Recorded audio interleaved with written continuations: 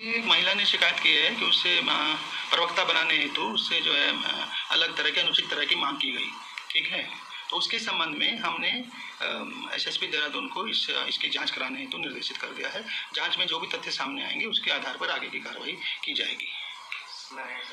मामला ये, जिस भर्ती की बात हो रही है, जिसके लिए जून 2019 के आसपास का है, और वो उसको कहीं प्रवक्ता पद के लिए सिलेक्शन होना था, जिसके लिए उसका इंटरव्यू था। उसके लिए अनुचित मांग की बात वो कर रही है। ठीक है? उसी के लिए हमने जाँच